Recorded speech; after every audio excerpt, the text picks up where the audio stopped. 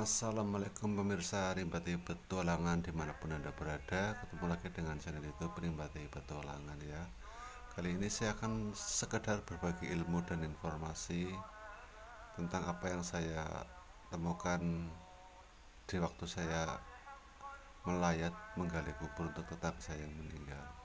Ternyata orang meninggal itu bantalnya adalah dari tanah liat. Itu terdiri dari satu bantal berbentuk empat persegi panjang dan enam bantal berbentuk bulat. Dan untuk yang bantal berbentuk empat kotak atau persegi panjang ini adalah untuk kepala dan untuk yang bulat-bulat enam ini adalah menyangga dari bagian kepala kita sampai ke ujung kaki karena kita harus dihadapkan di dalam liang lahat mencium dinding tanah.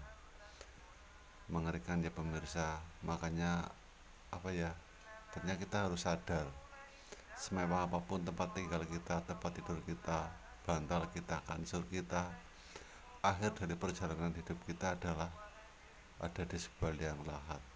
Berbantalkan tanah liat dingin terjepit di tengah-tengah perut bumi tidak ada yang bisa menolong kecuali amal perbuatan baik kita doa dari anak-anak kita yang soleh dan ilmu-ilmu kita yang bermanfaat yang kita bagikan kepada sanak saudara dan teman-teman kita.